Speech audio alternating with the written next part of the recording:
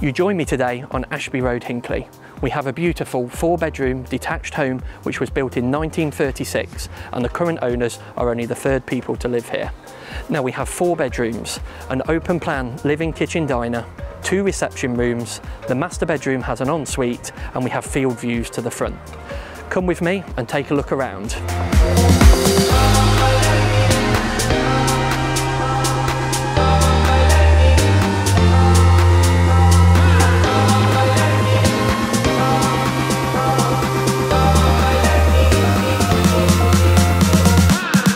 What a stunning space for entertaining in this living dining kitchen.